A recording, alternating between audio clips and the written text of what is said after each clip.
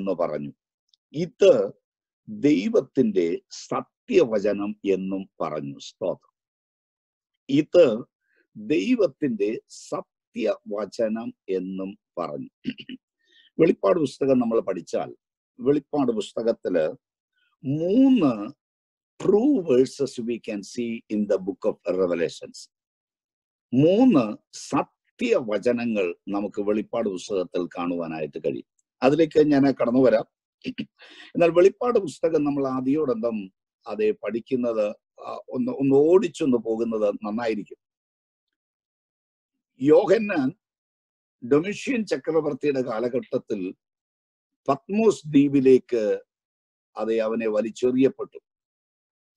പത്മോസ് ദ്വീപിൽ വന്ന് വീണ യോഹന്നാൻ ഏകനാണ് അവനെ ആശ്വസിപ്പിക്കാൻ അവിടെ ആരുമില്ല. വളരെ കഷ്ടത്തിലായിരിക്കുന്ന സമയത്ത് അവൻ കർത്തൃ ദിവസത്തിൽ ദൈവത്തെ ആരാധിക്കാൻ തുടങ്ങി. അങ്ങനെയെങ്കിൽ ഒരു കാര്യം വ്യക്തമാണ്. അവനെ കൊണ്ടിട്ട ദിവസം എന്നാണ് നമ്മൾ അറിയുന്നില്ല. പക്ഷെ അവൻ എണ്ണി. സൂര്യൻ അസ്തമിച്ചു സൂര്യൻ ഉദിച്ചു. അപ്പൊ അടുത്ത ദിവസമായി. പിന്നെയും സൂര്യൻ അസ്തമിച്ചു സൂര്യൻ ഉദിച്ചു.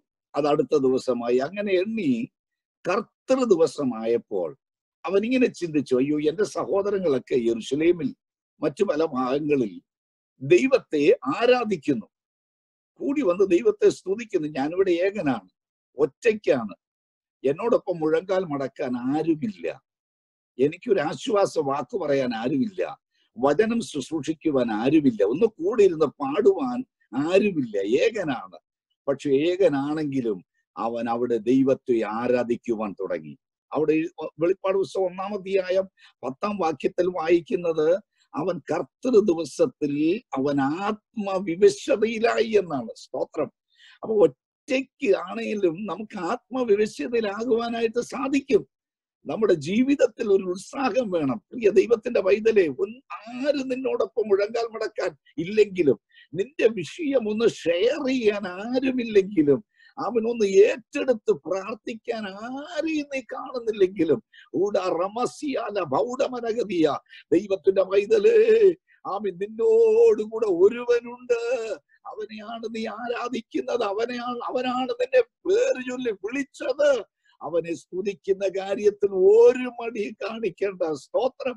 ഒറ്റയ്ക്കാണേലും ഏകയാണേലും ഏകനാണേലും ദൈവത്തിന്റെ സന്നിധാനത്തിൽ നീ മുഴങ്കാൽ മടക്കൂ. അവൻ നിന്നെ ആത്മശക്തിയാൽ നിറച്ച് ബലപ്പെടുത്തുന്ന ദൈവമാണ് അങ്ങനെ ആത്മവിവശതയിലായ യോഹന്നാൻ കാണുന്ന ദർശനങ്ങളാണ് ആമ ദൈവം അവനെ കാണിപ്പിച്ച ആലോചനയാണ് വെളിപ്പാട് പുസ്തകം എന്ന് പറയുന്നത് ബുക്ക് ഓഫ് റെവലേഷൻ ഈ വെളിപ്പാട് പുസ്തകം നമ്മൾ പഠിച്ചാൽ അതിന്റെ ഒന്നാം അധ്യായം എന്ന് പറയുന്നത് മരണത്തെ ജയിച്ച യേശു ക്രിസ്തുവിനെയാണ് നമ്മൾ ആ ഒന്നാം അധ്യായത്തിൽ കാണുന്നത് സ്തോത്രം. യേശു ക്രിസ്തു അവൻ മരണത്തെ ജയിച്ചവൻ മരണത്തിന്റെയും പാതാളത്തിന്റെയും താക്കോൽ കൈവശം ഉള്ളവൻ സ്തോത്രം. രണ്ടാം അധ്യായം ഞാൻ അതിലേക്ക് പിന്നീട് വരാം. രണ്ടാം അധ്യായം രണ്ടും മൂന്നും അധ്യായങ്ങൾ എന്ന് പറയുന്നത് തന്റെ ചങ്കിലെ ചോരയാൽ വീണ്ടെടുക്കപ്പെട്ട ദൈവത്തിന്റെ സഭ. മൂന്നാം അതെ നാലാം അധ്യായം എന്ന് പറയുന്നത് ഈ സഭ കർത്താവിന്റെ സന്നിധിയിൽ എടുക്കപ്പെടുകയാണ്. സ്തോത്രം.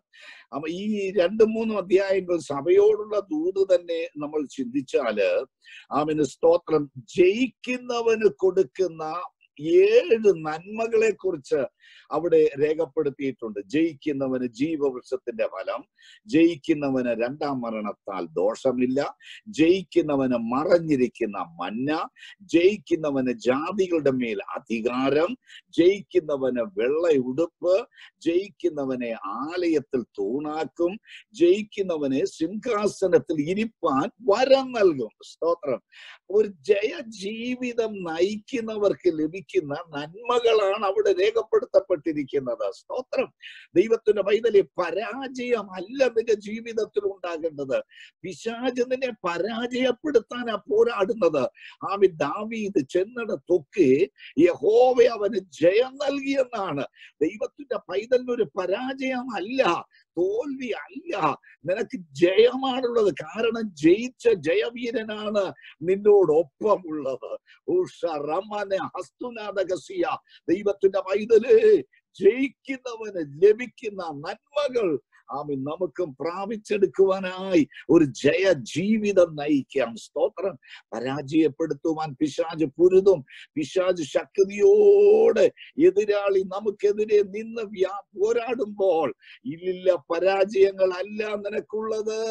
നിനക്കുള്ളത് ജയമാണ്. കാരണം ജയിച്ച ദൈവത്തെയാണ് നാം സേവിക്കുന്നത് സ്തോത്രം.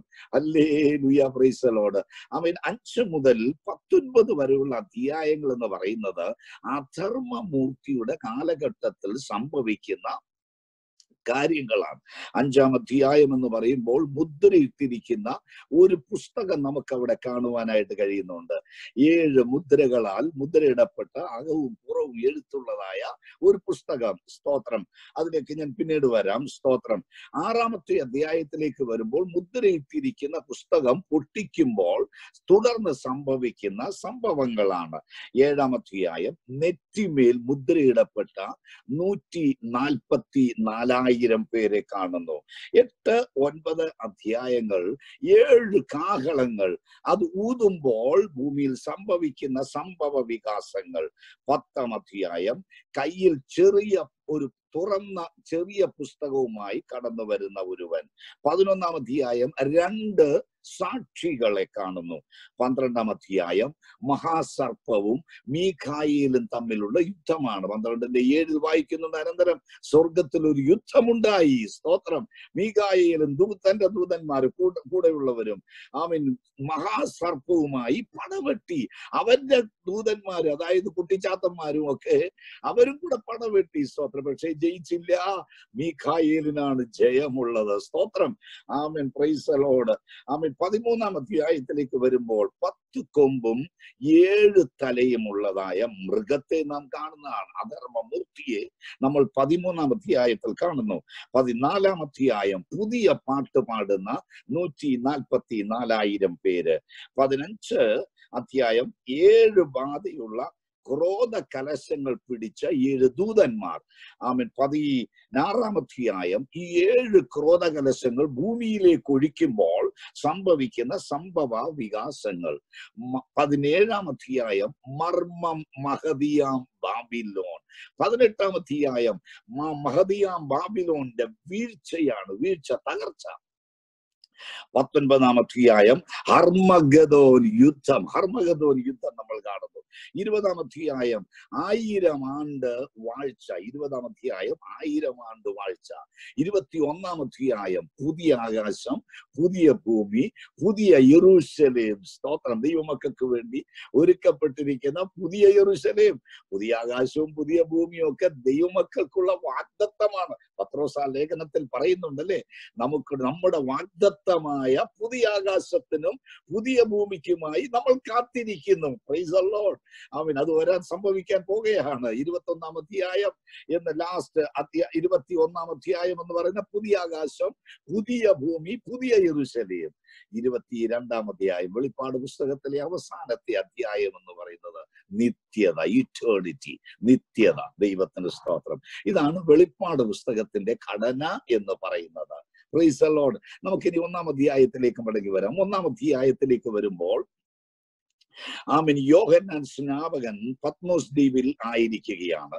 ആമിൻ പത്മോസ് ദ്വീപ് എന്ന് പറയുമ്പോൾ ശ്രദ്ധിക്കേണ്ട ഒരു സംഗതിയുണ്ട്. ഏകദേശം ചന്ദ്രക്കലയുടെ ആകൃതിയിൽ ഈ ഇരുപത്തി അഞ്ച് ചതുരശ്ര മൈൽ മാത്രം ഇത്രയും വിസ്തീർണമുള്ള ചന്ദ്രക്കലയുടെ ആകൃതിയിലുള്ള ആമി പാറകളാൽ അസ്ഥികളാൽ ഒക്കെ നിറയപ്പെട്ട് കിടക്കുന്ന ഒരു ചെറിയ ദ്വീപാണ് it is an island a small island അതാണ് ഈ പത്മോസ് എന്ന് പറയുന്നത് സ്തോത്രം. അപ്പൊ നോക്കി ഇരുപത്തിയഞ്ച് ചതുരശ്ര മൈൽ വിസ്തീർണമുള്ള ചന്ദ്രക്കലയുടെ ആകൃതിയിലുള്ള ദ്വീപ് എന്ന് പറയുമ്പോൾ ആ ദ്വീപിൽ ഏത് ഭാഗത്ത് ഇരുന്നാലും കടലിന്റെ ഹുങ്കാര ശബ്ദം ഭീകരമായ ഒരു അന്തരീക്ഷം അവൻ ഏത് സമയത്തും തിരമാലകളുടെ ഇരച്ചിലുകൾ ഈ ശബ്ദ കോലാഹലമാണ് ഭീതിപ്പെടുത്തുന്ന ഭയാനകമായ അനുഭവമാണ് ഈ പത്മോസ് എന്ന ദ്വീപിൽ ഏത് ഭാഗത്തായിരുന്നാലും നാം അനുഭവിക്കാൻ അനുഭവിക്കുന്നത് സ്തോത്രം. പക്ഷെ അങ്ങനെയുള്ള സാഹചര്യത്തിലും യോഹന്നാൻ തളർന്നില്ല എന്നുള്ളതാണ് വിശേഷത ദൈവവൈതലെ ഭീതിപ്പെടുത്തുന്ന അന്തരീക്ഷങ്ങൾ ഭയപ്പെടുത്തുന്ന അനുഭവങ്ങൾ ഭീതിപ്പെടുത്തുന്ന മഹാവ്യാധികൾ ഒക്കെ നമ്മുടെ ചുറ്റുപാടും ഉള്ളപ്പോഴും സ്തോത്രം.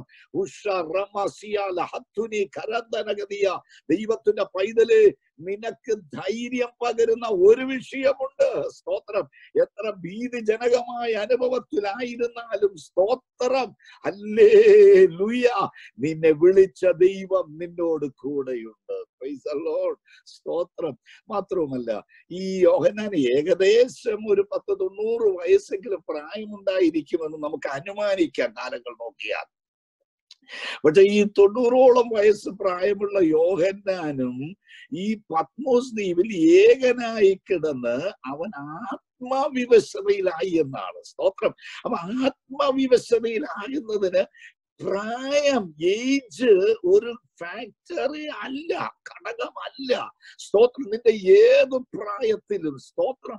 അവൻ യോവേൽ പ്രവചനം പ്രവാചകൻ ഇപ്രകാരം പ്രവചിച്ചു അന്ത്യനാളിൽ ഞാൻ സകല ജഡത്തിന്മേലും എന്റെ ആത്മാവിനെ പകരും. നിങ്ങളുടെ പുത്രന്മാരും പുത്രിമാരും പ്രവചിക്കും. യൗവനക്കാർ ദർശനങ്ങൾ ദർശിക്കും. ആമൻ അന്നാളിൽ വൃദ്ധന്മാർ സ്വപ്നങ്ങൾ കാണും. അന്നാളിൽ എന്റെ ദാസി ദാസന്മാരുടെ മേലും ഞാൻ എന്റെ ആത്മാവിനെ അയക്കും. ഇന്ന് ഈ സമയത്ത് ദൈവം ഇതിലെ നിന്റെ മേലും അവൻ തന്റെ ആത്മാവിനെ അയക്കുന്ന ദൈവമാണ്. സ്തോത്രം. ഏത് വ്യക്തിയുടെ മേലും തന്നോട് യാചിക്കുന്ന ഏത് വ്യക്തിക്കും സ്തോത്രം. ലൂക്കോസ് എഴുതിയ സുവിശേഷത്തിൽ നാം ഇങ്ങനെ കാണുന്നുണ്ട്. തന്നോട് ഒരപ്പൻ തന്റെ മകന് അപ്പൻ ചോദിച്ചാൽ കല്ല് കൊടുക്കുമോ? മുട്ട ചോദിച്ചാൽ തേളിനെ കൊടുക്കുമോ? മീൻ ചോദിച്ചാൽ പാമ്പിനെ കൊടുക്കുമോ? അങ്ങനെ ദോഷികളായ നിങ്ങൾ നിങ്ങളുടെ മക്കൾക്ക് നല്ല ദാനങ്ങളെ കൊടുക്കാൻ ഇച്ഛിക്കുന്നുവെങ്കിൽ സ്വർഗസ്ഥനായ നിങ്ങളുടെ പിതാവ്. തന്നോട് യാചിക്കുന്നവർക്ക് പരിശുദ്ധാത്മാവിനെ എത്രയധികം നൽകും എന്നാണ് സ്തോത്രം. എത്രയധികം നൽകും? മറ്റൊരിടത്ത് എത്ര നന്മ നന്മ എത്രയധികം നൽകുമെന്നാണ് സ്തോത്രം. അങ്ങനെ ദൈവത്തിന്റെ പൈതൽ ദൈവത്തോട് നീ ചോദിക്ക്. അവൻ ആത്മാവിനെ പകരുന്ന ദൈവമാ. ആമീൻ. എത്ര അധികമായി പകരും സ്തോത്രം. ഈ കാലഘട്ടത്തിൽ നമുക്ക് കഴിഞ്ഞ നാളുകളിലുള്ള ശക്തി പോരാ. കഴിഞ്ഞ നാളുകളിലുള്ള ആത്മബലം പോരാ. ഈ ദിവസങ്ങൾ നമുക്ക് ആത്മശക്തി അത്യന്താപേക്ഷിതമാണ് സ്തോത്രം. ഹല്ലേലൂയ പത്മോസ് ദ്വീപിൽ ഏകനായിട്ടായിരുന്ന യോഹന്നാൻ ആത്മവിവിശതയിലായി വെളിപ്പാട് പുസ്തകം പഠിച്ചു കഴിഞ്ഞാൽ നാല് ആത്മവിവിശതകൾ നമുക്ക് കാണാൻ കഴിയും. അതിൽ ഒന്നാണ് ഒന്നാം അധ്യായം പത്താം വാക്യം. രണ്ടാമത് നമ്മൾ കാണുന്ന നാലാം അധ്യായം രണ്ടാമത്തെ വാക്യത്തിൽ. മൂന്നാമത് കാണുന്നു പതിനേഴാം അധ്യായം മൂന്നാം വാക്യത്തിൽ. നാലാമത് കാണുന്നു ഇരുപത്തൊന്നാം അധ്യായം പത്താം വാക്യം. അത് ഏതൊക്കെ സാഹചര്യത്തിനാണ് യോഹന്നാൻ ആത്മവിവിശതയിലായത് ഒന്ന് തേജസ്കരിക്കപ്പെട്ട യേശുവിനെ കാണാൻ മരണത്തിന്റെയും പാതാളത്തിന്റെയും താക്കോൽ കൈവശമുള്ളവനെ കാണാൻ സ്തോത്രം. ഹല്ലേ ലൂയ ഹല്ലേ ലൂയ Lord. ആമൻ. യേശുവിനെ കാണുവാൻ അവൻ ആത്മവിശ്വതരായി സ്തോത്രം. രണ്ടാമത് നാലാമധ്യായം രണ്ടാം വാക്യത്തിൽ വായിക്കുന്നത് അനന്തരം ആത്മവിശ്വതിൽ അവൻ സ്വർഗം തുറന്നിരിക്കുന്നതും. ആമൻ. പിന്നെ സ്വർഗത്തിലെ കാര്യം ആ ദൈവസഭ എടുക്കപ്പെട്ടു. ലോഡ് അത് കാണും. പിതാവാ ദൈവത്തെ ആമൻ സ്വർഗത്തിലെ കാര്യങ്ങൾ അവൻ കാണുകയാണ്. രണ്ടാമത് ആത്മവിവശതയിൽ ആമീൻ അതെ പച്ച മരതക വില്ലും. ഇരുപത്തിനാല് മൂപ്പന്മാർ ഇരുപത്തിനാല് സിംഹാസനങ്ങൾ ഇരിക്കുന്ന കാഴ്ചയും ഒക്കെ അവൻ ആ നാലാം അധ്യായത്തിൽ കാണുകയാണ്. ആമൻ മൂന്നാമത് അവൻ ആത്മവിശ്വതരായത് പതിനേഴാം അധ്യായം മൂന്നാമത്തെ വാക്യത്തിലായി. എപ്പോഴാണ്? ആമൻ ആ മൃഗത്തെ കാണുമ്പോൾ സ്തോത്രം. അധർമ്മ മൂർത്തിയെ കാണുമ്പോൾ സ്തോത്രം. മർമ്മം മഹതിയാം. ബാബിലോൺ എന്ന അനുഭവത്തെ അവൻ കാണുമ്പോൾ അവൻ ആത്മവിവശ്വതയിലാണ് അവൻ അത് കാണുന്നത്. സ്തോത്രം. അതായത് പിശാചിനെ അധർമ്മമൂർത്തിയെ പൈശാചിക ശക്തികൾ അതിന്റെ പ്രവർത്തനങ്ങളെ ആമൻ കാണുവാൻ ആത്മവിവശതയിലായി സ്തോത്രം. അത് മൂന്നാമത് സംഭവിച്ചതാണ്. നാലാമത് അവൻ ആത്മവിവശ്വതയിലായത് ഇരുപത്തൊന്നിന്റെ പത്ത് ഇരുപതിന്റെ പത്താമ ഇരുപത്തൊന്നിന്റെ പത്താമത്തെ വാക്യത്തില. അതായത് പുതിയ യെരുശലേം കാണുവാൻ. അവൻ ആത്മവിവശതയിൽ ഉയർന്നോരു മലയിലേക്ക് ദൈവം അവനെ കൊണ്ടുപോയി. ആമൻ. പുതിയ യെരുശലേം എന്ന നഗരം സ്വർഗത്തിൽ നിന്ന് ഇറങ്ങി വരുന്ന കാഴ്ച അവൻ കാണുകയാണ്. ഏതാണ് പുതിയ യെരുശലേം? ഓരോ ദൈവത്തിന്റെ പൈതലിനും ദൈവം ഒരുക്കിയിരിക്കുന്ന പ്രതിഫലമാണത് സ്തോത്രം. നീ കഷ്ടം സഹിച്ചതിനും നീ ഉപദ്രവം സഹിച്ചതിനും നീ നിന്നെ അനുഭവിച്ചതിനും സ്തോത്രം. ആമെ നീ കർത്താവിന്റെ നാമനിമിത്തം പട്ടിണി കിടന്നതിനും കർത്താവിന്റെ നാമത്തിനു വേണ്ടി നീ ചെലവാക്കിയതിനും ഒക്കെ ദൈവത്തിന്റെ പൈതൽ അവൻ നിനക്ക് പ്രതിഫലം തരുന്ന ദൈവമാണ്. സ്തോത്രം. അല്ലേലിയ പുതിയ യെറുശലേം പ്രൈസ് ലോഡ് അത് ഇറങ്ങി വരുന്നത് അവൻ ആത്മവിവശതയിൽ കാണുകയാണ്. ഞാൻ മടങ്ങി വരട്ടെ. സ്തോത്രം.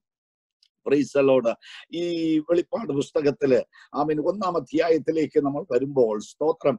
ആമീന് ഈ ഒന്നിന്റെ പതിനാറാമത്തെ വാക്യത്തിലേക്ക് വരുമ്പോൾ സ്തോത്രം.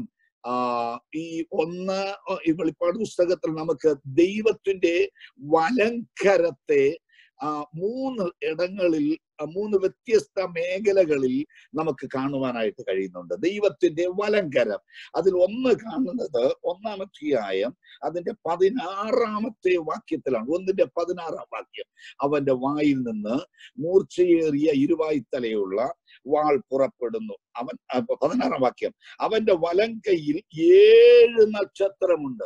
വെളിപ്പാട് പുസ്തകം ഒന്നാം അധ്യായം അതിന്റെ പതിനാറാമത്തെ വാക്യം. അവന്റെ വലങ്കയിൽ കൈയിൽ ഏഴ് നക്ഷത്രമുണ്ട്. മതി. അവന്റെ വലങ്കയിൽ കൈയിൽ ഏഴ് നക്ഷത്രം. അവന്റെ വലം കൈയിൽ ഏഴ് നക്ഷത്രം. സ്തോത്രം. അപ്പൊ ഒന്നാമത് നമ്മൾ കാണുന്നത് ദൈവത്തിന്റെ വലങ്കയിൽ കൈയിൽ ഏഴ് നക്ഷത്രം എന്നുള്ള. ഏഴ് നക്ഷത്രങ്ങൾ ഏതാണ്? സ്തോത്രം. ആ ഒന്നാമധ്യായം ഇരുപതാമത്തെ വാക്യത്തിലുണ്ട്. എന്റെ വലങ്കയിൽ കണ്ട ഏഴ് നക്ഷത്രത്തിന്റെ മർമ്മവും ഏഴ് പൊന്നല വിളക്കിന്റെ വിവരവും എഴുതുക.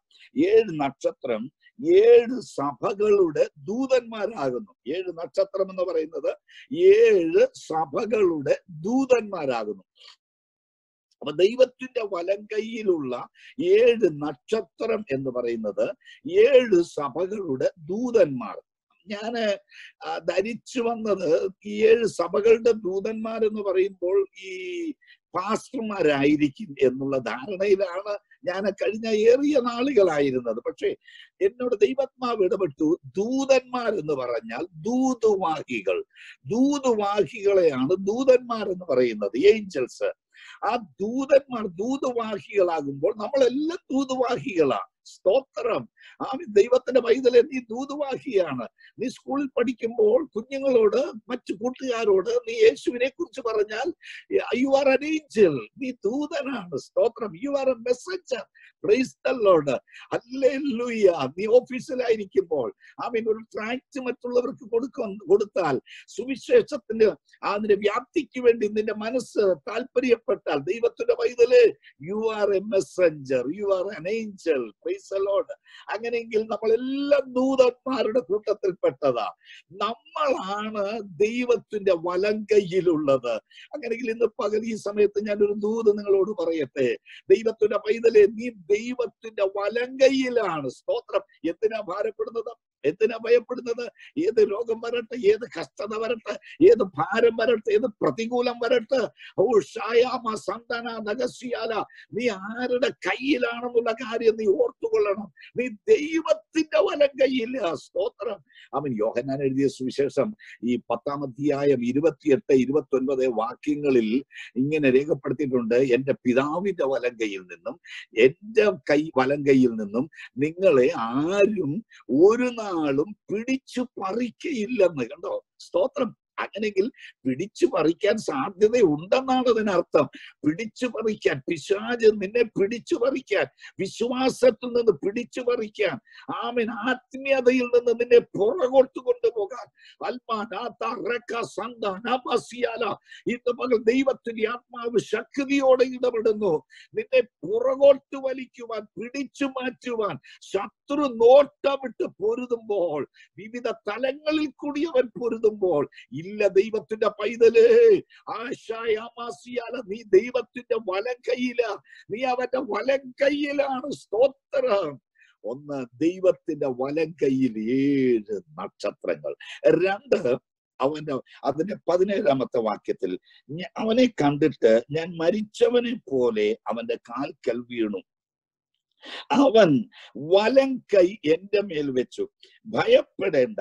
ഞാൻ ആദ്യനും അന്ത്യനും ജീവനുള്ളവനുമാകുന്നു. ഞാൻ മരിച്ചവനായിരുന്നു എന്നാൽ ഇതാ എന്നേക്കും ജീവിച്ചിരിക്കുന്നു സ്തോത്രം.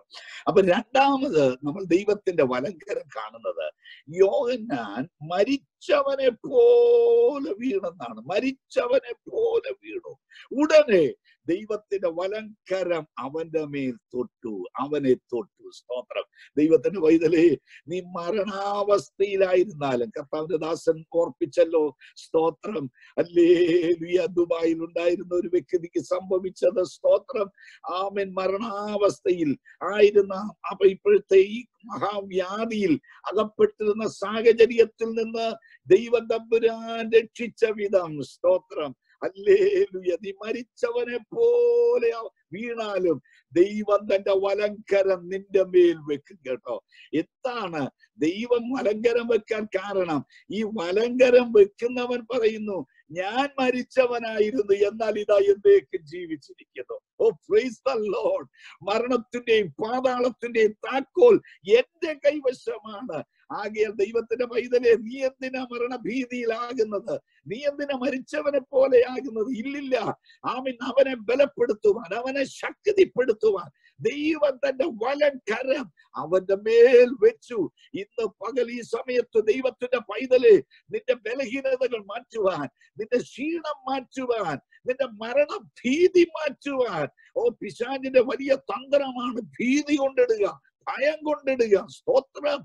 നിന്റെ ഭയത്തെ മാറ്റേണ്ടതിന് ഇതാ ദൈവം തന്റെ വലങ്കരം നമ്മുടെ മേൽ വെക്കുകയാണ്. സ്തോത്രം. അല്ലേ ദൈവത്തിന്റെ വലങ്കരം ആമിൻ. യോഹന്നാന്റെ മേൽ വെളിപ്പെടുന്നു. മൂന്നാമത് ദൈവത്തിന്റെ വലങ്കരം നമ്മൾ കാണുന്നത് അഞ്ചാമധ്യായം അതിന്റെ ഒന്നാമത്തെ വാക്യത്തിലാണ്. സ്തോത്രം. അവിടെ നാം കാണുന്നത് ഈ കയ്യിൽ ഏഴ് മുദ്രയുള്ള അകത്തും പുറത്തും എഴുത്തുള്ളതായ ഏഴ് മുദ്രയാൽ മുദ്രയിടപ്പെട്ട ഒരു പുസ്തകം ആമീൻ ദൈവത്തിന്റെ വലങ്കയിൽ സിംഹാസനത്തിൽ ഇരിക്കുന്നവന്റെ വലങ്കയിൽ ഇരിക്കുന്ന കാഴ്ച നാം കാണുകയാണ്. ഞാൻ സിംഹാസനത്തിൽ ഇരിക്കുന്നവന്റെ വലങ്കയിൽ അകത്തും പുറത്തും എഴുത്തുള്ളതായി ഏഴ് മുദ്രയാൽ മുദ്രയിട്ട ഒരു പുസ്തകം കണ്ടു. ദൈവത്തിന്റെ വലം കയ്യിൽ ഒരു പുസ്തകം ഇരിക്കുകയാണ്. വലങ്കയിൽ. ഈ പുസ്തകം മുദ്രയിടപ്പെട്ട പുസ്തകമാണ്. മനസ്സിലാക്കണം. ഈ പുസ്തകം മുദ്രയിടപ്പെട്ടതായ പുസ്തകമാണ്. ഏഴ് മുദ്ര അതിന്മേൽ seven seals we can see on that book അതിനകത്ത് ഏഴ് മുദ്ര ഇട്ടിരിക്കുകയാണ് സ്തോത്രം. ഈ മുദ്ര പൊട്ടിച്ചെങ്കിലേ പൊട്ടിച്ചെങ്കിലേ മാത്രമേ അനന്തരം സംഭവിക്കുവാനുള്ള സംഭവങ്ങൾ യോഹന്നാന് വെളിപ്പെട്ട് കിട്ടത്തുള്ളൂ.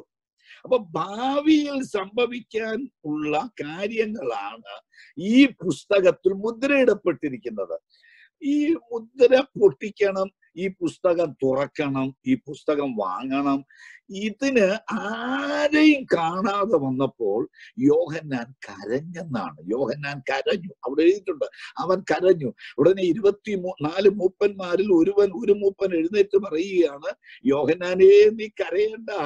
ഡു നോട്ട് ക്രൈ ഈ പുസ്തകം വാങ്ങാനും അതിനെ മുദ്ര പൊട്ടിപ്പാനും ഒരുവൻ ജയിച്ചു വന്നിട്ടുണ്ട്. അവൻ യഹൂദയുടെ സിംഹമാണ്. സ്തോത്രം. ഈസ് ദ ലയൺ ഓഫ് ജൂത ആമീൻ അവൻ ജയിച്ച് ജയവീരനായി കടന്നു വന്നിട്ടുണ്ട് എന്ന് ഒരു മൂപ്പൻ നിന്ന് യോഹന്നാനോട് കരയുന്ന യോഹന്നാനോട് പറയുകയാണ്. ഞാൻ അവിടെ നിന്നുകൊണ്ട് ഒന്നിന്റെ ദൂതുകൾ പറയുന്ന സ്തോത്രം. അല്ലേ ഭാവിയിൽ സംഭവിക്കാൻ പോകുന്ന കാര്യം. നമ്മുടെ കുഞ്ഞുങ്ങളുടെ ഭാവി നമ്മുടെ ഭാവി എന്തായി തീരും ജോലി നഷ്ടപ്പെടുമോ? ആമീൻ. ശാരീരികമായി ക്ലേശങ്ങൾ വരുമോ? മഹാവ്യാധി എന്നെ കടന്നു പിടിക്കുമോ? എന്റെ കുടുംബത്തിന്മേൽ അത് കടന്നു വരുമോ? ആമീൻ. എന്റെ കുഞ്ഞുങ്ങളുടെ ഭാവി എന്തായി തീരും എന്റെ കുടുംബത്തിന്റെ ഫാമിലിയുടെ ഭാവി എന്തായി തീരും ഞങ്ങളുടെ വരുമാന മാർഗത്തിന്റെ ഭാവി എന്തായി തീരും സ്തോത്രം സ്തോത്രം. ഭാവിയെ കുറിച്ച് ഭാരപ്പെട്ട് ആമീൻ എന്താണ് എന്താണെന്ന് അറിയാതെ അതിനെക്കുറിച്ച് വ്യാകുലപ്പെട്ടിരുന്ന യോഹന്നാൻ. ദൈവമൈതലെ നീയും ഒരുപക്ഷെ അതിൽ ഒട്ടും വിഭിന്നമായിരിക്കത്തില്ല. ആമൻ. നിന്റെ കുഞ്ഞുങ്ങളുടെ ഭാവിയെ ഓർത്തൊരു പക്ഷെ നീ ഞരങ്ങുന്ന വ്യക്തിയായിരിക്കാം. സ്തോത്രം. നിന്റെ ജോലിയുടെ ഭാവിയെ ഓർത്ത് ഒരുപക്ഷെ നീ ഭീതിയോടെ കഴിഞ്ഞു വരുന്ന വ്യക്തിയായിരിക്കാം. ഇല്ലില്ല ഇല്ലില്ല. സ്തോത്രം. പുസ്തകം വാങ്ങാനും ഭാവിയെ കുറിച്ച് വെളിപ്പെടുത്താനും ഒരുവൻ ജയിച്ചു വന്നിട്ടുണ്ട്. അവൻ യഹൂദയുടെ സിംഹമാണ്. സ്തോത്രം. യോഗനാൻ കരഞ്ഞെന്നാണ് സ്തോത്രം. കരയാൻ നമുക്ക് കഴിയുമോ? ദൈവത്തിന്റെ സന്നിധിയിൽ വിഷയങ്ങളുടെ മുഖത്ത് കരയുവാൻ ഒരു തുള്ളി കണ്ണുനീരെങ്കിലും ഒഴുക്കുവാൻ ദൈവ പൈതലെ നിനക്ക് സാധിക്കുമെങ്കിൽ നീ വിജയിച്ചു എന്നുള്ള കാര്യം മറക്കരുത്. ആശ അത്തുനി ജീവൽ ഇത് അനേകർക്ക് കരയാൻ കഴിയുന്നില്ല. കണ്ണുനീർ തൂകാൻ കഴിയുന്നില്ല. സ്തോത്രം പ്രാർത്ഥിക്കാൻ കഴിയുന്നുണ്ട്. ദൈവസന്നിധി പാടുവാൻ കഴിയുന്നുണ്ട്.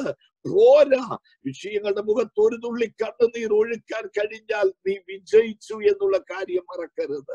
കാരണമുണ്ട് കണ്ണുനീരിനെ മറികടക്കാത്ത ദൈവമാ നമ്മുടെ ദൈവം. സ്തോത്രം. അവൻ ഒരിക്കലും കണ്ണുനീരിനെ മറികടക്കുന്നവനല്ല. പ്രീസ്തലോട് നിലവിളിക്ക് എവിടെ കേട്ടാലും അവൻ നിന്ന് പ്രവർത്തിക്കുന്നവനാ. ഒരിക്കൽ എരിയോവിൽ കൂടി കടന്നു പോകുമ്പോൾ വഴിയരികിൽ ഭിക്ഷ യാചിക്കുന്ന ഒരു മനുഷ്യനിരുന്ന് യാചിക്കുമ്പോൾ നിലവിളിക്കുകയാണ് യേശുവേ ദാവീദ് പുത്ര എന്നോട് കരുണ തോന്നണമേ എന്ന് സ്തോത്രം. ശ്രദ്ധിച്ച് ബഹു പുരുഷാരം ചുറ്റും കൂടി നിൽക്കുമ്പോൾ ആയിരക്കണക്കിന് ആൾക്കാരാ. അവർ ഒച്ച വെച്ചോണ്ടിരിക്കുകയാണ്. യേശുവിന് ജയം പാടിക്കൊണ്ടും യേശുവിനെ സ്തുതിച്ചുകൊണ്ടും അവർ ഒച്ച വെച്ചിങ്ങനെ ആയിരക്കണക്കിന് ആൾക്കാർ നിൽക്കുമ്പോൾ റോഡിന്റെ സൈഡിൽ ഫുട്പാത്തിൽ അതിന്റെ എക്സ്ട്രീം എൻഡിൽ ഇരുന്നുകൊണ്ട് ഒരു യാചകൻ ഒരു യാചകൻ യേശുവേ എന്ന് വിളിച്ചാൽ ഈ വലിയ പുരുഷാരത്തിന്റെ ശബ്ദത്തിനിടയിൽ അത് വെറും നെഗ്ലിജിബിളാ ഒന്നുമില്ല. പക്ഷെ ആ ശബ്ദമാണ് യേശു കേട്ടത്. ചുറ്റും നിന്ന് കീജയ് വിളിക്കുന്നവരുടെ ശബ്ദം യേശു കേൾക്കുന്നില്ല. ആമീൻ. സ്തോത്രം. അതിലേക്കല്ല എന്റെ യേശുവിന്റെ കാതുകൾ പതിഞ്ഞത്. എന്റെ യേശുവിന്റെ കാതുകൾ പതിഞ്ഞത്. ആവശ്യബോധത്തോടെ ഒരുവൻ ആ വഴിയരികിൽ ഇരുന്ന് നിലവിളിക്കുകയാണ്. അവന്റെ നിലവിളിയുടെ ശബ്ദമാണ് യേശുവിന്റെ കാതുകൾ കേട്ടതെങ്കിൽ ഇന്ന് ഈ സമയത്ത് ദൈവത്തിന്റെ വൈതലേഹത്തിന്റെ കണ്ണുനീർ കാണുന്നവൻ. നിന്റെ നിലവിളി കേൾക്കുന്നവൻ സ്തോത്രം. ലൂക്കോസ് എഴുതിയ സുവിശേഷം പതിനെട്ടാം അധ്യായം എടുക്കേണ്ട ഏഴാമത്തെ വാക്യത്തിൽ നാം ഇങ്ങനെ വായിക്കുന്നു. ദൈവമോ രാപ്പകൽ തന്നോട് നിലവിളിക്കുന്ന തന്റെ വൃതന്മാരുടെ കാര്യത്തിൽ ദീർഘക്ഷമയുള്ളവനായാലും അവൻ അവരെ പ്രതിക്രിയ നടത്തി രക്ഷിക്കും. സ്തോത്രം. ഇന്ന് ഈ സമയത്ത് എന്നെ കേൾക്കുന്ന പ്രിയ സ്നേഹിത പ്രിയ ദൈവത്തിന്റെ പൈതലെ പ്രിയ സഹോദരി നിന്റെ കണ്ണുനീര് കാണുന്ന ദൈവം. നിന്റെ കണ്ണുനീര് കാണുന്ന ദൈവം. ആമിൻ. യേശു ഉയർത്തെഴുന്നേറ്റു. കല്ലറ മാതുക്കൽ ഒരു സഹോദരി കണ്ണുനീരോട് നിലവിളിക്കുകയാണ്. അവനെ എവിടെ വെച്ചു എന്ന് കാണിച്ചു തരിക? ഞാൻ അവനെ എടുത്തുകൊണ്ട് പോയിക്കൊള്ളാം എന്നുള്ള ആകുലത്തോടുകൂടി ആമീൻ ആദിയോടുകൂടി ആകാംക്ഷയോടുകൂടി ആഗ്രഹത്തോടുകൂടി ഒരുവൾ കരഞ്ഞു നിൽക്കുകയാണ്. അവൾ കണ്ണുനീർ തൂകുന്നതിനിടയിൽ കരയുന്നതിനിടയിൽ അവൾ കുനിഞ്ഞു കല്ലറയ്ക്കിലേക്ക് നോക്കുന്നുണ്ട്. അവിടെ ആരുമില്ല സ്തോത്രം അവന്റെ അവളുടെ അവളുടെ പ്രിയപ്പെട്ടവൻ അവൾ സ്നേഹിച്ചവൻ അവളെ സ്നേഹിച്ചവൻ ഇപ്പോൾ ആ കല്ലറയ്ക്കകത്തില്ല. സ്തോത്രം. അവളോട് കൂടെ രാവിലെ ഓടിയെത്തിയ സഹോദരിമാർ ആര് തന്നെ ഇപ്പോൾ കൂടെ ഇല്ല. അവളോട് കൂടെ ഓടിയെത്തിയ സഹോദരന്മാർ അവരും ഇപ്പോൾ കൂടെ ഇല്ല. സ്തോത്രം. പിന്നത്തേതിൽ ഓടി വന്നവർ ആരും തന്നെ കൂടെ ഇല്ല. ഏകയായിട്ടാണ് മഗ്ദലക്കാരത്തി മറിയ കല്ലറ വാതുക്കൽ കരഞ്ഞു നിൽക്കുന്നത്. നിന്റെ ഏകയായി നീ കരയുന്ന നിന്റെ കണ്ണുനീര്. ഒരുപക്ഷെ ആരുമില്ലാതെ മുറിക്കകത്ത് കയറി ഒറ്റയ്ക്ക് വാതിലടച്ച് വാവിട്ട് ദൈവസ്വം നിലവിളിക്കുന്ന ദൈവത്തിന്റെ പൈതലെ ഉഷായാമാസിയാല മത്തുനി ജീവൽ പ്രവൈഡലെ നിന്റെ കണ്ണുനീരിനെ മറികടക്കുന്ന ദൈവമല്ല നമ്മുടെ ദൈവം. സ്തോത്രം. ഒരു വലിയ ദൗത്യമാണ് യേശു തമ്പുരാൻ ചെയ്തുകൊണ്ടിരുന്നത്. അതിനിടയിലും ഒരു സഹോദരിയുടെ കണ്ണുനീരിന്റെ മുൻപിൽ അവൻ ആ ദൗത്യം നിർത്തിവെച്ചിട്ട് അവളുടെ അരികിലേക്ക് അവളുടെ കണ്ണുനീർ തുടയ്ക്കേണ്ടതിന് അവൾക്ക് ആശ്വാസം പകരേണ്ടതിന് ആമേൻ. യേശു തമ്പുരാൻ അവിടേക്ക് ഇറങ്ങി വന്നു. ഓ യാമ സാധാരാമ സത്തുനാഥകസിയ ദൈവത്തിന്റെ മൈതലേ നീ സേവിക്കുന്ന നമ്മുടെ യേശു അപ്പച്ചൻ നിന്റെ കണ്ണുനീർ തുടയ്ക്കുവാൻ ഇറങ്ങി വരുന്നവനാണ് സ്തോത്രം. കരഞ്ഞാൽ യോഹന്നാൻ കരയുന്നു. കരയുന്നത് കണ്ടിട്ട് മൂപ്പന്മാരിൽ ഒരുവൻ വിളിച്ചു പറഞ്ഞു യോഹനാനെ നീ കരയണ്ട. ഡു നോട്ട് ക്രൈ നിന്റെ കണ്ണുനീര് ഞങ്ങൾ കണ്ടു കേട്ടു. ആ ഇതാ പുസ്തകം വാങ്ങാനും അതിന്റെ മുദ്ര പൊട്ടിപ്പാനും ഒരുവൻ ജയിച്ചു വന്നിട്ടുണ്ട്. അവൻ യഹൂദയുടെ സിംഹമാണെന്ന് പറഞ്ഞപ്പോൾ യോഹന്നാൻ ആ യഹൂദയുടെ സിംഹത്തെ കാണുവാൻ ഉയരത്തിലേക്ക് അവന്റെ കണ്ണുകളെ ഉയർത്തി. അവൻ കണ്ട കാഴ്ച സിംഹത്തിന് പകരം കുരളറുക്കപ്പെട്ട ഒരു കുഞ്ഞാട്.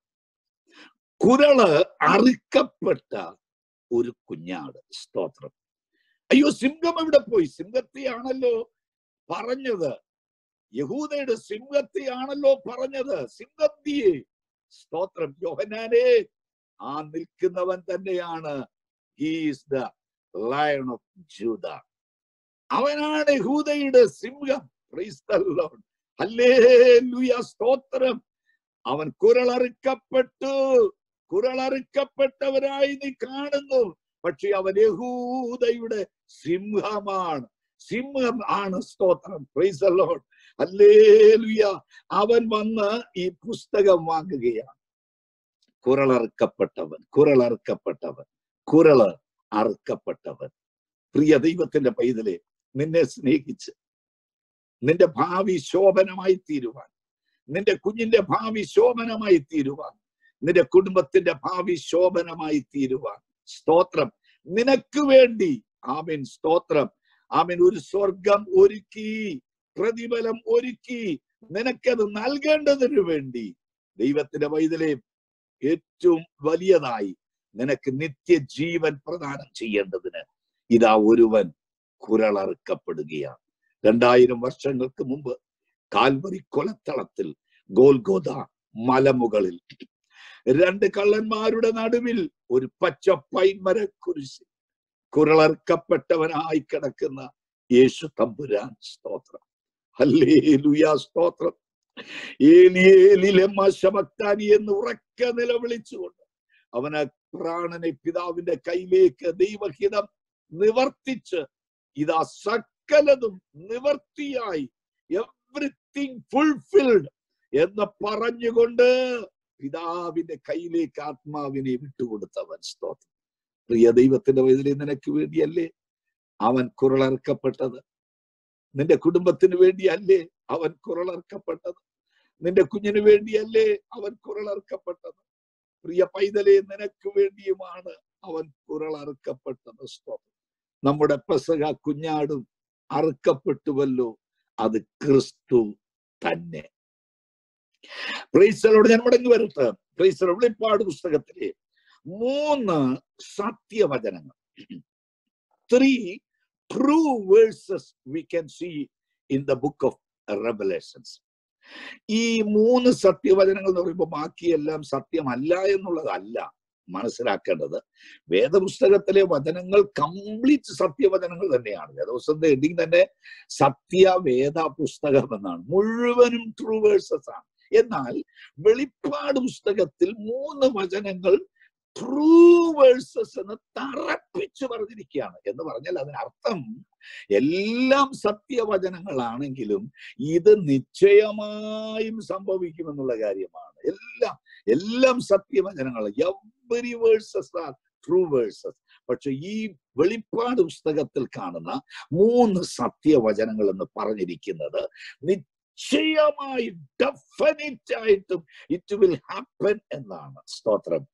നിശ്ചയമായും അത് സംഭവിക്കും. ഏതൊക്കെയാണ് ആ മൂന്ന് സത്യവചനങ്ങൾ? ഒന്ന് പത്തൊൻപതാം അധ്യായം ചാപ്റ്റർ നയന്റീൻ വേഴ്സ് നയൻ പത്തൊൻപതിന്റെ ഒൻപതാമത്തെ വാക്യം ഞാൻ വായിക്കുന്നു.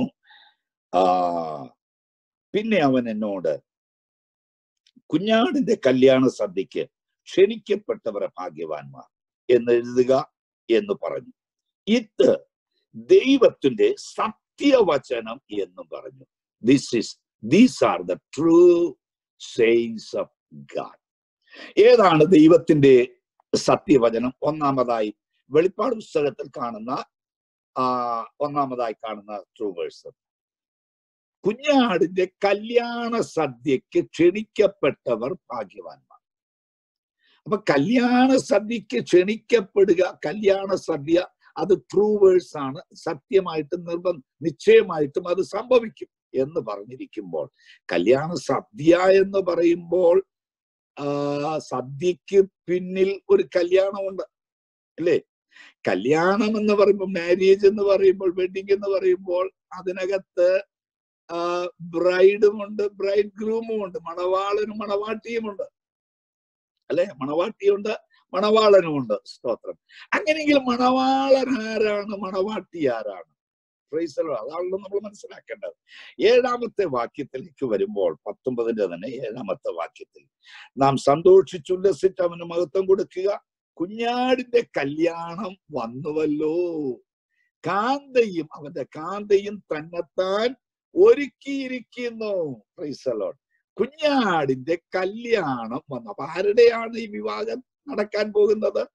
കുഞ്ഞാടിന്റെ വിവാഹമാണ്. കുഞ്ഞാടിന്റെ മാരേജ് ആണ് നടക്കാൻ പോകുന്നത്. സ്തോത്രം.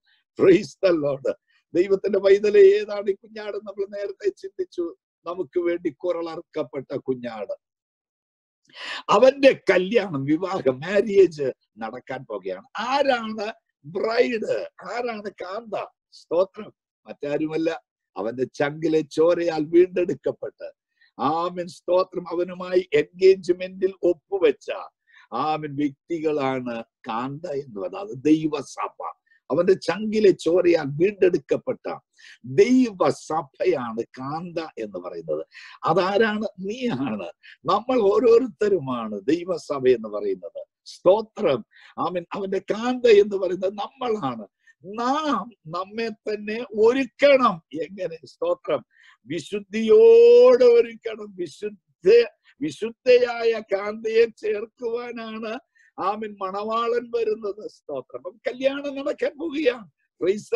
അതെന്താണെന്ന് നമുക്കറിയത്തില്ല. താമസമേ നമുക്ക് സംഭവ വികാസങ്ങളൊക്കെ കാണുമ്പോൾ ഇനി അതിന് ഒട്ടും താമസമില്ല കേട്ടോ. ഒട്ടും താമസമില്ല. ആസന്ന ദിവസങ്ങളിൽ തന്നെ അത് സംഭവിക്കാൻ സാധ്യതയുണ്ട്. സ്തോത്രം. എപ്പോഴാണെന്ന് നമുക്ക് ആർക്കും അറിയത്തില്ല ഫ്രീസല്ലോട് അല്ലേ ഞാൻ എപ്പോഴും പലപ്പോഴും പറയുന്ന ഒരു കാര്യമുണ്ട്. അവൻ ജാതികളുടെ പൂർണ സംഖ്യ തികയും. ആ പൂർണ സംഖ്യ തികയുമ്പോഴായിരിക്കും കർത്താവ് വരിക. ജാതികളുടെ പൂർണസംഖ്യ തികയുമ്പോൾ. സ്തോത്രം. ഞാനൊന്ന് പറഞ്ഞോട്ടെ? ആ ജാതികളുടെ പൂർണസംഖ്യ എന്ന് പറഞ്ഞാൽ മാനസാന്തരപ്പെടുന്നവരുടെ സംഖ്യ തികയണം മാനസാന്തരപ്പെടുന്നവരുടെ ഒരു സംഖ്യ ദൈവത്തിന്റെ ദൃഷ്ടിയിലുണ്ട്. ദൈവത്തിന്റെ കണക്ക് പുസ്തകത്തിലുണ്ട്. ആ സംഖ്യ തികയണം.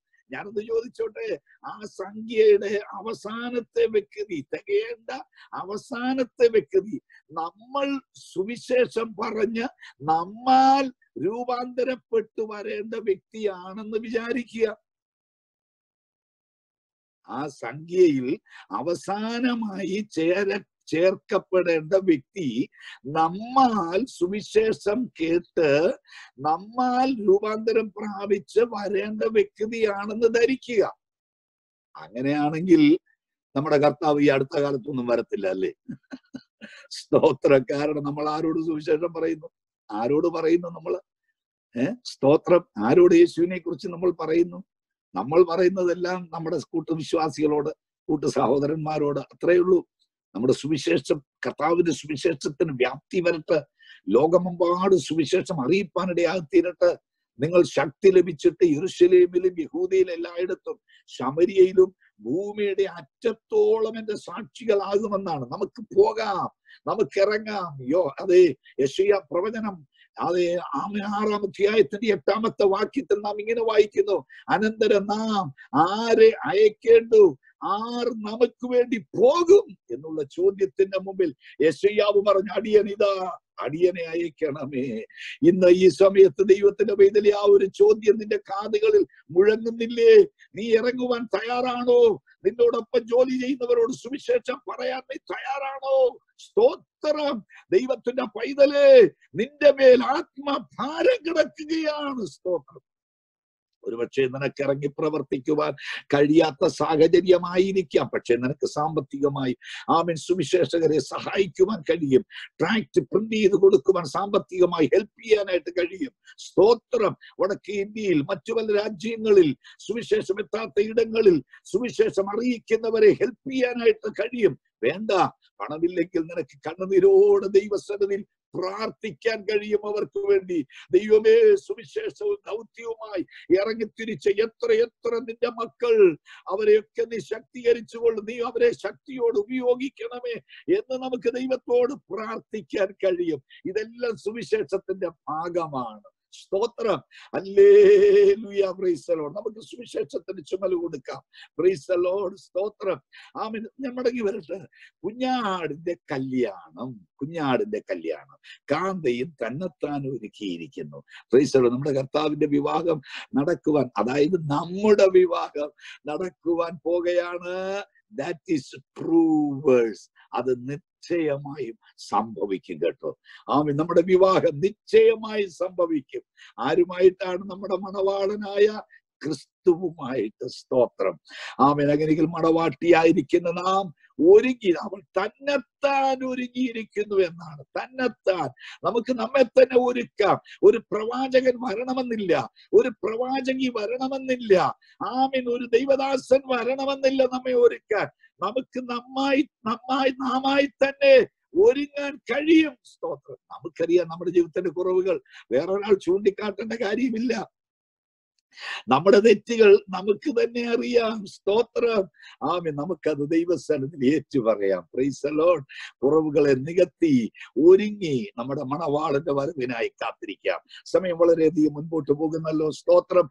ആമീൻ. ഒന്നാമത്തെ സത്യവചനം കുഞ്ഞാടിന്റെ കല്യാണം. അതായത് നമ്മുടെ കല്യാണം. സ്തോത്രം. അത് നിശ്ചയമായിട്ടും സംഭവിക്കുമെന്നുള്ളതാണ്. ദാറ്റ് ഇസ് ട്രൂ വേഴ്സ് രണ്ടാമത്തെ സത്യവചനമായി നമ്മൾ കാണുന്നത് ഇരുപത്തി ഒന്നാം അധ്യായം അതിന്റെ അഞ്ചാമത്തെ വാക്യത്തിലാണ്. ഇനി മരണം ഉണ്ടാകയില്ല. ദുഃഖവും മുറവിളിയും കഷ്ടതയും ഇനി ഉണ്ടാകയില്ല. ഒന്നാമത്തേത് കഴിഞ്ഞുപോയി. സിംഹാസനത്തിൽ ഇരിക്കുന്നവൻ ഇത്ത ഞാൻ സകലവും പുതുതാക്കുന്നു എന്ന് അരുളി ചെയ്തു. എഴുതുക. ഈ വചനം വിശ്വാസയോഗ്യവും സത്യവും ആകുന്നു എന്നും അവൻ കൽപ്പിച്ചു. ഇത് വിശ്വാസയോഗ്യവും സത്യവുമാകുന്നു these words are true and faithful ഇത് വിശ്വാസയോഗ്യവും സത്യവുമാകുന്നു ഏത്? ഏതാണ് സത്യം വചനം എന്ന് പറഞ്ഞിരിക്കുന്നത്? ഇതാ ഞാൻ സകലവും പുതുതാക്കുന്നു പുതുതാക്കുന്നു. സകലതും പുതുതാക്കുകയാണ്. അതായത് പുതിയ ആകാശം പുതിയ ഭൂമി പുതിയ യെറുശലേം ഇരുപത്തി ഒന്നാം അധ്യായം എന്ന് പറഞ്ഞത് അതാണല്ലോ. ആ ഒന്നാം വാക്യത്തിലൂടെ ഞാൻ പുതിയ പുതിയ ആകാശവും പുതിയ ഭൂമിയും കണ്ടു. സ്തോത്രം. പത്താമത്തെ വാക്യത്തിലുണ്ട് ആമിൻ. വിശുദ്ധ നഗരം പുതിയ യെറുശലേം യെറുശലേം എന്ന വിശുദ്ധ നഗരം സ്വർഗത്തിൽ നിന്നും ഇറങ്ങുന്ന കാഴ്ച കണ്ടു. സ്തോത്രം. അപ്പൊ പുതിയ ആകാശം പുതിയ ഭൂമി എല്ലാം പുതുത്. ഇനി മരണം ഉണ്ടാകയില്ല. നിലവിളിയും മുറവിളിയും കഷ്ടതയും ഇനി ഉണ്ടാകയില്ല. സ്തോത്രം. ഈ ഭൂമിയിലായിരിക്കുമ്പോൾ ദൈവത്തിന്റെ പൈതലെ നിനക്ക് വിലാപങ്ങളുണ്ട്. നിലവിളിയുണ്ട് മുറവിളിയുണ്ട് കഷ്ടതയുണ്ട്. സ്തോത്രം. എന്നാൽ ദൈവം നമുക്ക് വാഗ്ദത്വം തരുന്നു. ഹീസ് ഗിവിംഗ് ദ പ്രോമിസ് ഇനി മരണം ഉണ്ടാകയില്ല. സ്തോത്രം. ഇനി മരണം ഉണ്ടാകയില്ല. ദുഃഖവും മുറവിളിയും കഷ്ടതയും ഇനി ഉണ്ടാകയില്ലെന്ന്. സ്തോത്രം. ദൈവത്തിന് നിന്റെ കണ്ണുകളിൽ നിന്ന് കണ്ണുനീരെല്ലാം തുടയ്ക്കുന്ന ഒരു ദിവസമുണ്ട്. ഇപ്പോൾ നിനക്ക് ഒരുപക്ഷെ കണ്ണുനീരുണ്ടായിരിക്കാം സ്തോത്രം. ആരോരും അറിയാതെ ഏകയായി ഏകനായി മാറിയിരുന്ന് കരയുന്ന കണ്ണുനീർ തുടയ്ക്കുന്ന ദൈവത്തിന്റെ പൈതലെ സ്തോത്രം. നിന്റെ കണ്ണുനീർ ദൈവം തമ്പുരാൻ അവന്റെ കൈകൾ കൊണ്ട് തുടയ്ക്കുന്ന ഒരു ദിവസം വരാൻ പോകുകയാണ്. ഇനി മരണം ഉണ്ടാകിയില്ല കേട്ടോ. അപ്പൊ എല്ലാം പുതുക്കുന്ന പുതുതാക്കുന്ന ഒരു അനുഭവമുണ്ട് പുതിയ ആകാശം പുതിയ ഭൂമി. സകലതും പുതുക്കുന്നു. ഇനി മരണമില്ല ദുഃഖമില്ല മുറവിളിയില്ല കഷ്ടതയില്ല സ്തോത്രം. അങ്ങനെ ഒരു നാട് ആ സ്തോത്രം. അങ്ങനെ ഒരു ഫ്യൂച്ചർ നമ്മുടെ മുൻപിൽ ഉണ്ട് എന്നുള്ള കാര്യം ദൈവം ഇതിലേ നീ മറക്കരുത് സ്തോത്രം. അത് ദാറ്റ് ഈസ് ട്രൂ വേഴ്സ് എന്നാണ്. അത് സത്യവചനം. അത് നിശ്ചയമായിട്ട് സംഭവിക്കുമെന്നാണ്. പത്രോസ് എഴുതിയ ലേഖനത്തിൽ പത്രോസ് അപ്പോസ്തലൻ പറയുന്നുണ്ട് പുതിയ ആകാശം പുതിയ ഭൂമി എന്ന വാഗ്ദത്തത്തിനായി നമ്മൾ കാത്തിരിക്കുന്നു. രണ്ട് പത്രോസ് മൂന്നിന്റെ ഇരുപത്തി മൂന്നില്ല ഒട്ടും ഞാൻ അത് എടുപ്പിക്കുന്നില്ല സ്തോത്രം. ആമൻ. പുതിയ ആകാശം പുതിയ ഭൂമി എന്ന വാഗ്ദത്തം ദാറ്റ് ഇസ് പ്രോമിസ് ഓഫ് ദൈവം നമുക്ക് തന്നിരിക്കുന്ന വാഗ്ദത്തമാണത്. ആ വാഗ്ദത്വത്തിനായി നമ്മൾ കാത്തിരിക്കണം. അപ്പൊ ദൈവമക്കൾ പുതിയ ആകാശത്തിനും പുതിയ ഭൂമിക്കുമായി കാത്തിരിക്കണം. പുതിയ യെറുശലേമിനായി കാത്തിരിക്കണം. സ്തോത്രം. പുതിയ യെറുശലേം അവൻ ഇതായ സകലതും പുതുതാക്കുകയാണ്. ദൈവം ഇതിൽ നിന്റെ ലൈഫ് നിന്റെ ജീവിതത്തിൽ ഒരു പുതുമ തരുവാൻ പുതുക്കം തരുവാൻ നിന്റെ ആരാധനയിൽ ഒരു പുതുക്കം തരുവാൻ ആമൻ നിന്റെ ആത്മദമനത്തിൽ ഒരു പുതുക്കം തരുവാൻ ഊഷ നിന്റെ പ്രാർത്ഥനയ്ക്ക് ഒരു പുതുക്കം തരുവാൻ. ആമൻ ഇന്ന് ഈ സമയത്ത് എത്ര പേർ ആഗ്രഹിക്കും? ദൈവമേ എനിക്കൊരു പുതുക്കം വേണം എന്റെ പ്രാർത്ഥനയ്ക്ക് ഒരു പുതുക്കം വേണം. കഴിഞ്ഞ നാളുകളെക്കാൾ ഉപരിയായി ഒരു പുതുക്കം എന്റെ പ്രാർത്ഥനയ്ക്ക് വേണം. എന്റെ ഉപവാസത്തിന് എന്റെ ആരാധനയ്ക്ക് എന്റെ ആത്മ നിറവിന് ഒരു പുതുക്കം വേണം സ്തോത്രം. ആത്മാർത്ഥമായി നിലവിളിക്കുന്ന ആഗ്രഹിക്കുന്ന ദൈവത്തിന്റെ പൈതലേ അത് ദൈവം നിനക്ക് തന്നിരിക്കുന്ന വാഗ്ദത്തമാണ് സ്തോത്രം. അവൻ സകലതും പുതുതാക്കും. പുതുക്കും നിശ്ചയമായിട്ടും അത് സംഭവിക്കും. അത് ആക്ഷരികമായിട്ട് ആമൻ സംഭവിക്കാൻ പോകുന്ന കാര്യം ആ പുതിയ ആകാശം പുതിയ ഭൂമി നിൽക്കുകയാണെങ്കിലും സ്തോത്രം. ഇന്ന് ആത്മീയ മണ്ഡലത്തിലായിരിക്കുന്ന നിന്നോട് ഞാൻ ഒരു ദൂത് പറയട്ടെ. ആത്മീയതയിൽ അവൻ നിനക്കൊരു പുതുക്കം തരാൻ പോകുകയാണ്. സ്തോത്രം. നിന്റെ പ്രാർത്ഥനയ്ക്ക് അവൻ ഒരു പുതുക്കം നൽകാൻ പോകുകയാണ്. ഒരു പുതിയ അനുഭവം അവൻ നിന്റെ മേൽ പകരുവാൻ പോകുകയാണ്. ഇന്ന് ഈ സമയത്ത് അത് ഏറ്റെടുക്കും. ദൈവമേ I mean I need a new prayer I need a new spiritual warfare I I need a new power of Holy Spirit. Praise the Lord. ആത്മാവിന്റെ ഒരു പുതിയ ശക്തി ഇതുവരെ പ്രാപിച്ചിട്ടില്ലാത്ത അതാണ് പുതിയ ശക്തി എന്ന് പറഞ്ഞാൽ ആമിൻ ഇന്ന് ആമിൻ. അതിനുവേണ്ടി എത്ര പേർ വാഞ്ചിക്കുന്നുണ്ട്. ദൈവം അത് നിറയ്ക്കുവാൻ മതിയായവനാ. സ്തോത്രം. ആമിൻ. മൂന്നാമത്തെ കാര്യം കൂടെ പറഞ്ഞ് ഞാൻ അവസാനിപ്പിക്കാം. മൂന്നാമത്തെ സത്യവചനം. ശ്രദ്ധിക്കൂ. ഒന്നാമത്തെ സത്യവചനം കുഞ്ഞാടിന്റെ കല്യാണം. രണ്ടാമത്തെ സത്യവചനം സകലതും പുതുതാക്കുന്ന അനുഭവം. മൂന്നാമത്തെ സത്യവചനം ഇരുപത്തി രണ്ടാമത്തെ അധ്യായം ഇരുപത്തി രണ്ടാം അധ്യായം. അതിന്റെ ആറ് ഏഴ് വാക്യങ്ങൾ ആറാം വാക്യം വായിക്കുന്നു. പിന്നെ അവൻ എന്നോട് ഈ വചനം വിശ്വാസയോഗ്യവും സത്യവും ആകുന്നു. സത്യവചനമാണ്. ദറ്റ് ട്രൂ വേഴ്സ് എന്നാണ്. ഏതാണ് ആ സത്യവചനം? അവിടെ അടുത്ത വാക്യത്തിലുണ്ട്. ഏഴാം വാക്യത്തിൽ ഇത്ത ഞാൻ വേഗത്തിൽ വരുന്നു. I behold I come quickly ഇത്ത ഞാൻ വേഗത്തിൽ വരുന്നു. ഏതാ സത്യവചനം? ട്രൂവേഴ്സ് എന്ന് മൂന്നാമത് വെളിപ്പാട് പുസ്തകത്തിൽ നമ്മൾ കാണുന്ന ട്രൂവേഴ്സ് എന്ന് പറഞ്ഞിരിക്കുന്ന ഭാഗം ഏതാണ്? സംഭവം ഏതാണ്? ഇത്ത ഞാൻ വേഗം വരുന്നു എന്നുള്ളത്. ദാറ്റ് ഈസ് ട്രൂ വേഴ്സ് എന്നാണ്. സത്യവചനം. അങ്ങനെ നമ്മുടെ കർത്താവിന്റെ വരവ് എന്ന് പറയുന്നത് ട്രൂ വേഴ്സ് ആണ് സത്യവചനമാണ്. അത് നിശ്ചയമായി സംഭവിക്കും. നമ്മുടെ യേശു വരിക തന്നെ ചെയ്യും. നമ്മൾ കാത്തിരിക്കുന്ന അരുമനാഥൻ നമ്മുടെ സ്വർഗീയ അപ്പച്ചൻ ആമെ നിശ്ചയമായും യേശു അപ്പച്ചൻ വരും യേശുനാഥൻ വരും. സ്തോത്രം. അവന്റെ വരവിനെ ബന്ധപ്പെടുത്തി കാത്തിരിക്കുവാൻ നിനക്ക് കഴിയുന്നുണ്ടോ? പ്രൈസ് ദ ലോർഡ് അവന്റെ വരവിന് വേണ്ടി കുറുകി ഞരങ്ങിയിരിക്കുന്ന ദൈവത്തിന്റെ വൈതൽ നിന്റെ പ്രിയൻ വരാറായി കേട്ടോ. അവൻ വരും. ലോക സംഭവങ്ങൾ നമ്മുടെ കർത്താവിന്റെ വരവിനെ വിളിച്ചറിയിച്ചു കൊണ്ടിരിക്കുമ്പോൾ സ്തോത്രം. അവന്റെ വരവിന് ഇനി അധികം താമസമില്ല എന്നുള്ള കാര്യം നമ്മൾ മറക്കരുത്. സ്തോത്രം. അല്ലേലിയ. ഒരു ഉപകരണത്തിന്റെ കാര്യം കൂടെ പറഞ്ഞിട്ട് ഞാൻ വിടാം. ആമി നമ്മൾ ഫിസിക്സ് ലാബിൽ സ്കൂൾ കുട്ടികളോട് കോളേജ് സ്റ്റുഡൻസിനോടൊക്കെ ചോദിച്ചാൽ പറയും സോണോമീറ്റർ എന്നുള്ള ഒരു ഉപകരണമുണ്ട് ഫിസിക്സ് ലാബിൽ. സോണോമീറ്റർ എന്ന് പറഞ്ഞാൽ ഇത്രയേ ഉള്ളൂ. രണ്ട് തടി കഷ്ണങ്ങൾ തമ്മിൽ ഒരു നൂൽക്കമ്പി കൊണ്ട് ഇങ്ങനെ ബന്ധിച്ചിരിക്കും. ആ നൂൽക്കമ്പിയിൽ ഒരു പേപ്പർ കഷ്ണം വീ പോലെ വളച്ച് ആ ചെറിയൊരു പേപ്പർ കഷ്ണം കൊരുത്തിടും കോർത്തിടും. അതിലോട്ട് ഇങ്ങനെ ഇട്ടേക്കും. എന്നിട്ട് രണ്ടായി പിരിഞ്ഞിരിക്കുന്ന ഒരു കമ്പിയുണ്ട്. അതിന് ട്യൂണിംഗ് ഫോർക്ക് എന്ന പേര്. ആ ട്യൂണിംഗ് ഫോർക്കിൽ ഒരു ഹാമർ വെച്ച് ചുറ്റിക വെച്ച് ഒരു കമ്പിയിലോട്ട് ഇങ്ങനെ ആഞ്ഞടിച്ചാൽ ഈ ട്യൂണിംഗ് ഫോർക്ക് വൈബ്രേറ്റ് ചെയ്യും. വൈബ്രേറ്റ് ചെയ്തിട്ട് ഒരു സൗണ്ട് ഉണ്ടാകും. എന്നും പറഞ്ഞൊരു സൗണ്ട് ഉണ്ടാകും. ഈ ശബ്ദം പുറപ്പെടുമ്പോൾ നമ്മൾ ശ്രദ്ധിച്ചാൽ ഈ ട്യൂണിംഗ് ഫോർക്കിനെ അന്തരീക്ഷത്തിൽ അങ്ങോട്ടും ഇങ്ങോട്ടും ഇങ്ങനെ മെല്ലെ മൂവ് ചെയ്താൽ അങ്ങോട്ടും ഇങ്ങോട്ടും മെല്ലെ പതുക്കെ ഒന്ന് നീക്കിയാൽ ഒരു പർട്ടിക്കുലർ പ്ലേസിൽ എത്തുമ്പോൾ സോണോമീറ്ററിലെ കമ്പിയിൽ കൊരുത്ത് കിട്ടിരിക്കുന്ന പേപ്പർ കഷ്ണം വിറയ്ക്കാൻ തുടങ്ങും. ശ്രദ്ധിക്കണം ഈ സോണോമീറ്റർ സോറി ഈ ട്യൂണിംഗ് ഫോർക്ക് സോണോമീറ്ററെ തൊട്ടില്ല. ഈ ട്യൂണിംഗ് ഫോർക്ക് ഈ പേപ്പറെ തൊട്ടില്ല. അന്തരീക്ഷത്തിൽ ഉയർത്തിപ്പിടിച്ചിരിക്കുകയാണ് ട്യൂണിംഗ് ഫോർക്ക് അന്തരീക്ഷത്തിൽ ഉയർത്തിപ്പിടിച്ചിരിക്കുന്ന ട്യൂണിംഗ് ഫോർക്കിൽ നിന്നും പുറപ്പെട്ട ശബ്ദ തരംഗം.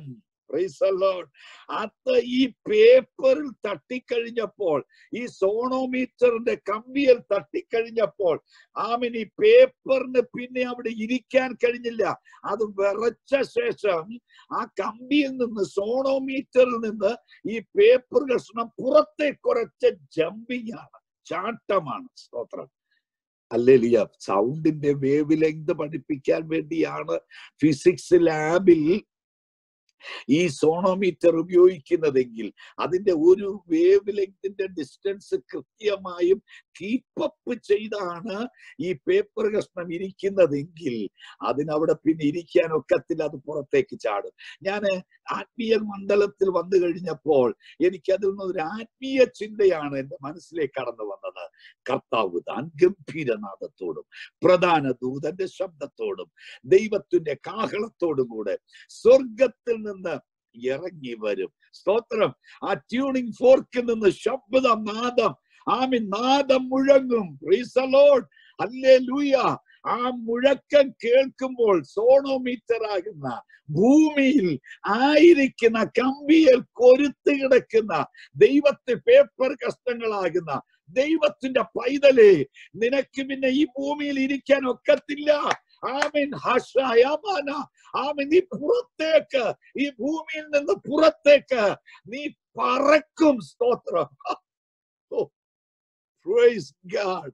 എനിക്ക് തുള്ളി ചാടണമെന്നുണ്ട്. സ്തോത്രം. അല്ലേലിയ ദൈവത്തിന്റെ പൈതലേ നിന്റെ മേൽ ഒരു ആത്മശക്തി ഇപ്പോൾ വ്യാപരിക്കുകയാണ്. നിന്റെ മേൽ ഒരു ആത്മകൃപ നിന്റെ മേൽ ഇപ്പോൾ വ്യാപരിക്കുകയാണ്. അതേ നിന്റെ കർത്താവിന്റെ കാഹളം ധ്വനിക്കാറായി. നിന്റെ കർത്താവ് വരാറായി. ഇത്ത ഞാൻ വേഗം വരുന്നു എന്ന് പറഞ്ഞവൻ വരാറായി. സ്തോത്രം. അവന്റെ വരവിന് വേണ്ടി നമുക്ക് ഒരുങ്ങി നിൽക്കാം. ഈ ഭൂമിയിൽ നിന്ന് കർത്തൃസന്നിധിയിലേക്ക് മണ്ണിൽ നിന്നും വിണ്ണിലേക്ക് എടുക്കപ്പെടുന്ന ആമിൻ സ്തോത്ര സമയം ആസന്നമാണ്. നമുക്ക് അവന്റെ വരവിന് വേണ്ടി കാത്തിരിക്കുക. ഒരു നിമിഷം നമ്മുടെ കണ്ണുകൾ അടയ്ക്കാം. നിന്റെ കണ്ണുനീർ തുടയ്ക്കുന്ന നാൾ ആമിൻ നിന്റെ വേദനകൾ മാറ്റുന്ന ദിവസം. നിന്നെ ആമേൻ മാർവോട് അണപ്പിക്കുന്ന ദിവസം. അത് നിന്നെ വേളി കഴിപ്പാൻ കടന്നു വരുന്ന ദിവസം. ഇതാ സംഭവിക്കുവാൻ പോകുകയാണ്. That these verses are true true verses ഇതെല്ലാം നിശ്ചയമായും സംഭവിക്കുന്ന സത്യവചനങ്ങളാണ്. ആ മൂന്ന് സത്യവചനങ്ങൾ വെളിപ്പാട് പുസ്തകത്തിൽ നമ്മൾ ശ്രദ്ധിച്ചുവല്ലോ. ആമൻ. വെളിപ്പാട് പുസ്തകം ചിന്തിച്ചപ്പോൾ നമ്മൾ ശ്രദ്ധിച്ചു. അവന്റെ വലങ്കയിൽ വെളിപ്പെട്ട മൂന്ന് സംഭവങ്ങൾ. ഒന്ന് നീ അവന്റെ വലങ്കയിലാണ് ഉള്ളങ്കയിൽ. അവന്റെ വലങ്കയിലാണ്. ആരും നിന്നെ പിടിച്ചു പറിക്കത്തില്ല കേട്ടോ. സ്തോത്രം. രണ്ട് ആമി നീ മരിച്ചവനെ പോലെ ആകുമ്പോൾ അവന്റെ വലങ്കര നിന്റെ മേൽ അവൻ വെക്കുന്ന ദൈവമാണ്. ഇന്ന് ഈ സമയത്ത് രോഗിയായിരിക്കുന്ന ദൈവം ഇതിലെ നിന്റെ രോഗത്തെ സൗഖ്യമാക്കുവാൻ.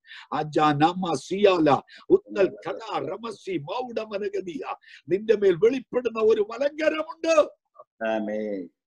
സ്തോത്രം. അവൻ നിനക്ക് വേണ്ടി പ്രവർത്തിക്കുന്നവനാ. പ്രൈസലോൺ മൂന്ന് നിന്റെ കുഞ്ഞിന്റെ ഭാവിയെ കുറിച്ച് നിന്റെ കുടുംബത്തിന്റെ ഭാവിയെ കുറിച്ച് അവന്റെ വലം കൈ വെളിപ്പെടുകയാണ്. ആ പുസ്തകം വാങ്ങി അതിന്റെ മുദ്ര പൊട്ടിച്ച് അത് ഭാവിയിൽ സംഭവിക്കാൻ പോകുന്നത്. അവൻ വെളിപ്പെടുത്തുന്ന ദൈവമാണ്. മൂന്ന് സത്യവചനങ്ങൾ നമ്മൾ ചിന്തിച്ചു. ഒന്ന് കുഞ്ഞാടിന്റെ കല്യാണം. രണ്ട് സകലതും പുതുതാക്കുന്ന അനുഭവം. മൂന്ന് ഇത്ത ഞാൻ വേഗം വരുന്നു എന്ന് കർത്താവ് പറഞ്ഞത് സ്തോത്രം. നമുക്ക് കണ്ണുകൾ അടയ്ക്കാം. ദൈവസനത്തിൽ ഏൽപ്പിച്ചു കൊടുക്കാം. നമ്മുടെ കർത്താവ് വരാറായി. നമ്മുടെ കർത്താവ് വരാറായി. അവന്റെ വരവിന് വേണ്ടി ഒരുങ്ങാം. കർത്താവ് നിങ്ങളെ ഏവരെയും ഈ വചനങ്ങളാൽ അനുഗ്രഹിക്കുമ്പോഴാണ് ഗോഡ് ബ്ലസ് യു